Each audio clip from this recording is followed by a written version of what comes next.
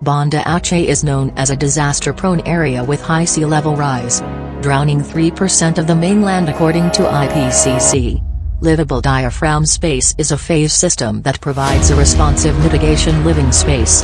By responding to sea level rise which reaches 35 centimeters by the end of 2050.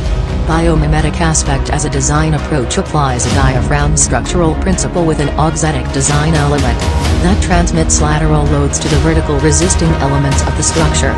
This dynamic structure responds to disasters such as floods or tsunamis, and climate changes by moving its own structure to follow the direction of the load, and adjusting its elevation to the current sea level, guaranteeing safety and durability. The livable diaphragm space system can be deployed at other coastal areas with similar environmental characteristics as the future living space over the sea.